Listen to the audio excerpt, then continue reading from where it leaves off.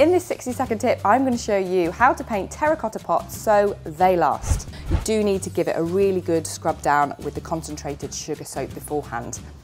So I'm going to start my preparation by sealing my pot with Frenchic's finishing coat. This is touch dry within 15 to 30 minutes, so once it is, you can start on your second coat. Once your second coat is dry, for best results you can even apply a third coat. And then you're ready to start painting.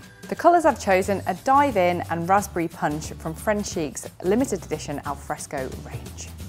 Millions of people across social media are hashtagging best paint in the world.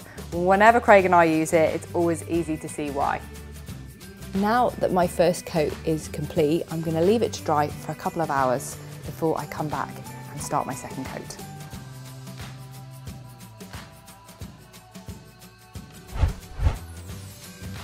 For more 60 second tips, subscribe to the YouTube channel Mr and Mrs DIY.